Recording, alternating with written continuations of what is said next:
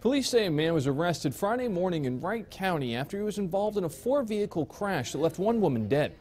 62-year-old Sharon Veiman of Anoka was pronounced dead at the scene near the intersection of County Road 39 Northeast and Page Avenue Northeast in Otsego.